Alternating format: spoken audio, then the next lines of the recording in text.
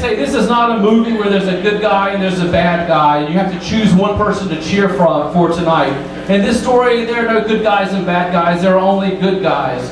The city of Raleigh is a good guy, is doing exactly as it should, taking the time out to determine the needs, what is best for its citizens and for the businesses here in the city of Raleigh. I started the process of putting the listing on Airbnb, and what do you know? One of the first things that Airbnb tells you when you begin to create a listing is they say you should check with your local city to find out if this is legal. So I did the right thing. I called the city. And I want to say that to echo something that Garrett just said, my interactions with the city have been fantastic. With the zoning department, with the city council. I have to say I am so proud to be a citizen of Raleigh because of the way this has played out. But I called the city uh, zoning department, and here's what they told me, which they've also said in the News and Observer and other places. They said, you know, this Airbnb thing is, is pretty new, and we're not really sure if it's legal or not. But the truth is, we're not going to pull up the pages of all these people who are listing their places on Airbnb and then go after them and tell them to stop. We would never bother you unless someone had complained. And as we all know, as far as I know, there's been one complaint here in Raleigh. Uh, as Jeff said, there's about 300 homes sharing on Airbnb. One complaint, that's a pretty great average. The complaint was against Jody and I, and, and I guess that's why I'm here tonight. But the is, since that issue became an issue with the city zoning department, I spent a lot of time thinking about this and talking with others about it in the community. And I want to make a single point here, and that is, as a journalist, as someone who has been part of the tech world in San Francisco and in New York, I think this is a hugely crucial issue for the city of, of Raleigh. It may not be a big issue in Garner. Maybe in Garner it doesn't matter whether they have Airbnb or not. But I think here in Raleigh, we have much bigger aspirations. We are a tech center. We are an innovation hub. And if you go to the City Council's website, that's the first point on their mission statement, and that is who we are. And if that is who we are, we need to participate in that world, in that culture, and Airbnb is part of that culture. So I strongly believe that here in Raleigh, if we were to ban Airbnb, the city's efforts, for instance, like when Mayor McFarlane went to South by Southwest last year with the team to recruit new tech companies to come here, those kinds of efforts, I believe, will fall flat on their face if after we try to recruit a company to move to Raleigh, the CEO of that company Googles Raleigh and sees that we've just banned Airbnb. It doesn't send the right message to the kind of companies we would want to recruit to come here. That's why this issue is so important to me. It's not about me renting out a spare bedroom in my house. It's not about others renting out spare bedrooms in their houses. It's about us having a healthy, vibrant, exciting innovation center, tech hub city. That's who Raleigh is. That's who we want to continue to be. And this is one of those issues we've got to get right. And if we get it right, other cities will look to us and say, when they're facing the same issue, hey, what did Raleigh do? What was the Raleigh plan? And that's what we want to be. We want to be leaders on this issue and leaders in the world of technology. Thank you. I had one job here tonight. One. And it was to introduce the panel. I think I forgot my job. So, with that, um, as we're waiting for Max um, from Airbnb, who we understand has just landed and is catching an Uber from the airport. Yeah, right? You like that, okay? Now, I'm feeling the pinch because I'm a taxi cab driver. I'm the spokesperson for the Raleigh taxi cab industry. And you and Lyft have been manipulating our livelihoods by one, driving with private liability license plates with no commercial insurance on those vehicles. Anyone they pick up that has an accident or a pedestrian that walks in front of them, they're in problems. They should be insured. They don't have background checks for the health, safety, and welfare of our population. They want to surge price all of our consumers. I don't care if you're rich, middle class, or poor. You should be treated with proper dignity and respect and know what your, your obligations are economically. Airbnb is a platform and everyone that operates on that is an individual business. So you're looking at, in Raleigh, about 300 small businesses that operate on the Airbnb platform. And by City Council looking at possibly banning Airbnb, you're jeopardizing or putting in jeopardy 300 small businesses that are operating in, in Raleigh to be in the position where they have to shut down. Um, I think that's kind of a concern to a lot of small businesses that we don't want to put that negative uh, publicity in Raleigh. This is a zoning issue uh, in some neighborhoods, uh, or in all neighborhoods, businesses are not allowed, as we've already heard, uh, depending on what the traffic count and all those things are. So we'd have to overcome and change our zoning in our neighborhoods. I'm not sure that's going to happen at this point. I do agree, agree with Greg that it is very important for us to have this conversation because we are a small business community. I am one of those myself, and uh, I support that, as many of you already know. My questions are the regulations that you're willing to endeavor, is what I heard. Uh, we have a hotel and motel tax. You do not pay that, I'm sure. Uh, I'm I'm assuming you don't. Do they do that in other, uh, cities? That would be a question that I would have. San Francisco. Rick, do they do that? San Francisco. Yes, they do. They- so they don't- Airbnb has already built that into their platform, so they really just need to get a green light from the city, know what the taxes are, and essentially flip a switch. That tax would automatically be collected from the guests. Us as hosts would never touch it, it would go right to the city. So that issue is very easy to handle. Okay, well, there, there are a lot of these issues. There's been a lot of comments about, uh, sensible gov, uh, regulations, uh, and I haven't seen any sensible regulations in government since I've been in it, I've been in it thirty years. Uh, you know, I want us to be careful about throwing around phrases like slum landlords. Uh, I live in Boylan Heights.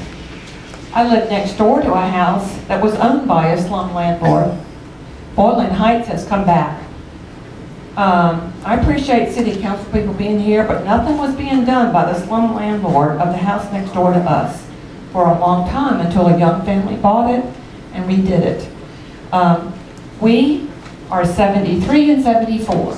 We live in a 100-and-year-old house. We would not to like downsize to assisted living or whatever. We were early adopters. We started in 2008. There were only two other listings. There were three listings. I want people to understand the safety devices that Airbnb has put into place. Eh, So I want you to go to the website and uh, educate yourself. Um, Everybody is reviewed. We get reviewed as hosts. People that want to stay with us get reviewed as potential guests. We get to read their reviews. We are not going to become slum landlords. Airbnb hosts are not going to become slum landlords. We are very careful about who we say yes to. Right now, we have a PhD candidate in electrical engineering from France staying with us. So we're going to be careful about who we allow to come into our house. And there are lots of safety um, provisions included in Airbnb. So I want us to be careful about tossing around words like slum landlords. Airbnb is enabling us on a fixed income to stay in our 100-year-old house that we are stewards of. Thank you. I'm generally supportive of Airbnb, but I also am a neighborhood activist, and I just want to make sure that the city gets it right. With, and I believe there needs to be some regulations. For example, um, once the city implemented PROP, which is the proba- probationary rental occupancy uh, permits, we had a lot less problems with absentee landlords. So I believe some kind of regulation on the Airbnbs where people are accountable, I think that would give neighborhoods a lot of peace of mind. So there definitely needs to be some kind of um, regulations. Thirdly, I'd like to reinforce the point that the, the previous host made about, um, there, there are those rules in there, and there are those ways that you can go ahead and you can qualify the person who's coming into your home. It's me. I have no husband, I have no other person to go ahead and to back me. So I have to go ahead and be very careful about who I allow into my home as a housemate, whether that's for a day, 90 days, or a year. And with that, I want to be able to qualify that person. And by being able to go ahead and to talk with them on the phone, uh, via Airbnb, by the way, no phone numbers are exchanged until after they're booked. Find out more about them, go ahead and have also something in there that I can call Airbnb, which I have on occasion if there's been an issue with a guest. We talked about whether things go well, right? Occasionally someone shows up and they're not quite all there, okay? And I need to get that person out of my house because I don't want to live with that. I am a non-smoking home. I am a drug-free home. I do not like people to drink in my home. I keep a very strict house. So, in uh, to be able to go, I, I'm just not, that, that's my house. I mean, you see, I'm with my Pepsi, okay? I mean, moderation in one thing is one thing, but, but when, I don't want to have the ire of my neighbors. I want my neighbors to be comfortable. I want my house to be quiet, and I want things to be good. And the funds from Airbnb directly go back into improving my home. And so it's really important to me that sensible regulations are there and that the checks and balances of Airbnb are there, and I feel much safer using a public platform like this than using something like Craigslist for which to seek roommates. Thank you. Oh, I think actually the better question isn't so much about regulation and what services are regulated. I look at this and say, how does the city of Raleigh actually leap ahead of other cities and embrace this as an opportunity? So San Francisco, for instance, hosts a number of major corporate conferences annually. Dreamforce, Oracle World, uh, the GDC conference, which is not my particular GDC, but it's a big gaming conference. Tens of thousands of people enter that area for a week of activities. The way that San Francisco has figured out to handle that influx of uh, stays, Airbnb.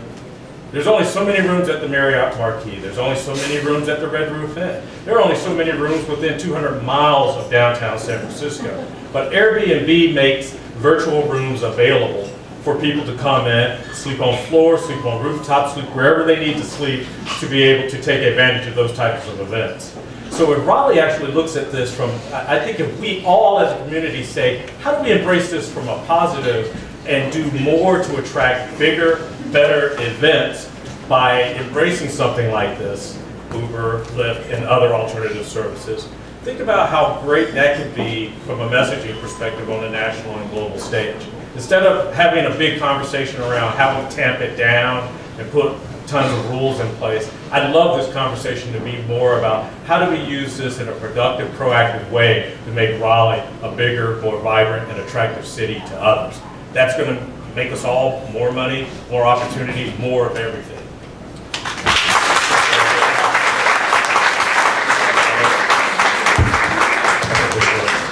Yeah, just just to piggyback off of that, uh, again, with this mentality of, of creating a business here locally and, and bringing on board in the next three months, probably five new hires from out, most likely outside of the city and state. When people come in to experience Raleigh, uh, people don't come in and say, let me stay at the, where's the nearest chain hotel, and then give me a list of the nearest chain restaurants. They come in to experience what the city truly has to offer, and, and being able to do so in this this sharing type community where people can come in and experience a real neighborhood in Raleigh and, you know, like historic Oakwood, for example, um, and, and, experience local flavors, be it at a Joule or, or at a Bida Manda or something like that. I think that's what it's really important to get behind as a city is saying this is the first step into potentially bringing new full-time residents into this area. Um, by giving them a firsthand experience of what that local flavor is all about. And then they move in and fill up these 10,000 new apartments that are going in downtown. But giving them a feel for it firsthand before, you know, before they, they opt to move here permanently. The last time I checked, Raleigh had close to 930 hotel rooms inside the Beltline, which in respect to the population of our city including Durham and Chapel Hill and RTP, is not a lot. So I'm just wondering if the city has analyzed this on a business impact. We have the new conference center that is continuing to attract new business. And then along with RTP, how are we going to hedge that moving forward? And then with, with Airbnb, do you have any case studies about cities that have kind of, like with Oracle Open World in San Francisco, that have had to kind of impact that effect and what they have done and how Airbnb has had a positive or potentially neutral and negative impact there. So for the impact, we do, I think, um, I don't have it on me, but we've done impact studies and, and we just released one in Boston two weeks ago. We've released them in, I think, Los Angeles about four weeks ago. Um, different cities, different, uh, both US and internationally about what the impact is, what it means for tourism, what it means, who they, you know, who are the demographics of who travels on it, you know, who, who uses it, income into the city, revenue, what neighborhoods people stay in, how they tend to, you know, I think it was in Boston a few weeks ago, we did one, and about 70% of people stay out of traditional hotel districts. So that's on the website, and I'm happy to like connect afterwards and, and talk about different ones. I forgot the first part of your No, question. no, I was just wondering if, if, to this point, we've talked about regulation, only regulation. And I'm just wondering if the city of Raleigh has really done any in-depth study into what the potential economic or business benefit would be to having something like an innovative company, Airbnb, come in and help us with a deficit in hotel stay that we already have. Councilman John Odom. Uh, I can answer the part about our deficit for beds. Uh, We do need more beds. We're doing a study right now, uh, and we're trying to get our convention center to another level, which I totally agree. Uh, So there are more needs for more beds, there's no doubt about that. So this, this is where this conversation ought to go and continue. We're doing a study on our hotels that are downtown, and we'll have that completed hopefully in the next three months. Uh, So that's to answer to your question. We we are behind, we don't have enough beds. We want more, especially if we're gonna have our convention center go to the next level of what it to be. I own a small business downtown, I live downtown, I have a family downtown, and I own rental property downtown. So I'm kind of, I cover a lot of these bases. We rent out one of our rental property units on Airbnb. It's phenomenal.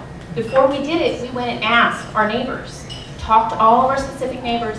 My, one of my oldest little old lady neighbors, who I was so worried about, when I told her, do you know what she said? She said, well, honey, in the Depression, we all rented out rooms. She thought that it was amazing that we had this service because she said, you know, you used to rent out a room, you didn't know if a person was just dirty because they didn't have a job, or they were dirty because they were dirty. so I know we're talking about this as such an innovative thing, but really Airbnb is just making it easier for people to do what they've always done, which is rent out space in their homes or in their rental properties in an easier way. So that's it. I have a question. Shoot, wherever that came from. Could the state, could the General Assembly move in and try to get in on this and get its hands on it and and try to uh, shut it down or find a way to make money? Do you want that one? Yeah, I think I recognize that voice. Yeah. Nice question. So I'm not going to, to, the specific laws of the state, you know, I don't know offhand, but one of the challenges that we see, especially when it comes to local occupancy taxes or transient occupancy taxes or what, you know, they're called different things in different places, is that every city and county can often levy their own.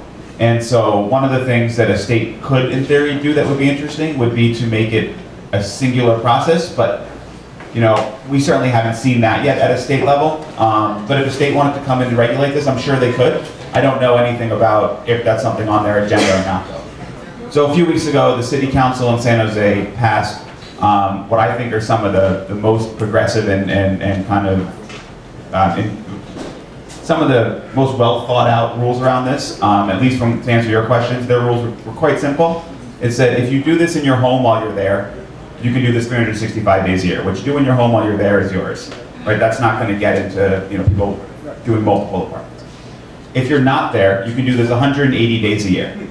That allows you to make sure that you live there at least half the year. It's probably your primary. It could be your secondary residence, but it's some sort of primary or secondary residence, so it prevents you from doing this in 20 apartments. Uh, pay your transient occupancy taxes, and the city planning commission is going to come back in two years and review and see if it's all working. That's what they said, and for that they've they've basically legalized home sharing. So how long did that process take? Um, I wasn't involved in all of it, but I it was I'm gonna I'm gonna be don't I'm not Don't quote you on Right, this. well, I'm saying- I know, so I thought, let me say about, I think it was about a six months thing of working with the, of the city council, thinking it through. I know the city planning commission went back and forth. Um, they made recommendations. There was, uh, I did go out there for, uh, the city planning commission hearing. So I, it was a good process. It was open. It was there were people who came and spoke on, on all sides, the, the opponents, the people in favor of it, and the city decided this is something that, that they wanted to, to work with. Some of the things we've seen in these studies are that people tend to stay longer and spend more. So they don't always spend more per day. It's actually sometimes, people stay in hotels sometimes spend more per day, but they, you know, it's about two and a half to three days versus, you know, four to five days, at least in Boston and Los Angeles, and we sort of see that in a lot of cities. So people spend more, and we have a lot of hosts here, I'm sure a lot of hosts here, how many of you like tell your guests where to go shop, or where to go eat, or where to go, all the hands are up, right? So this is one of the things we see a lot of, which is people who make maps, who, who tell people where to shop, where to go, and so as a local ambassador for your community, money's being spent in, in neighborhoods all over, and so that's one of the advantages. I'm sure, you know, there's at least, you know, 25 good stories here of some small business that, that you have had guests go and love and come back and say, this is a great place I've been to. So those are the kind of um, advantages you see from, from all home sharing. It's not just Airbnb, it's all the companies that do.